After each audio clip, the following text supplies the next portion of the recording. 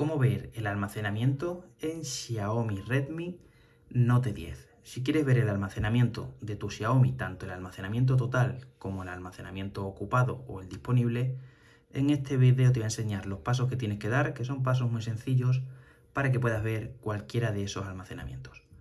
Como hago en todos los vídeos, lo voy a explicar de manera rápida. Lo primero que tenemos que hacer es buscar la aplicación de ajustes. Cuando encuentres ajustes, entras en ajustes. Ahora que estamos dentro de ajustes, vamos a entrar en el apartado sobre el teléfono. Cuando estés dentro de sobre el teléfono, entras en almacenamiento. Aquí ya vamos a poder ver todo lo, eh, almacenado, como puedes ver sería 19,5. Aquí nos dicen que lo hemos almacenado. Podemos ver el almacenamiento total, 128, y el disponible aquí arriba en la parte derecha, ¿vale?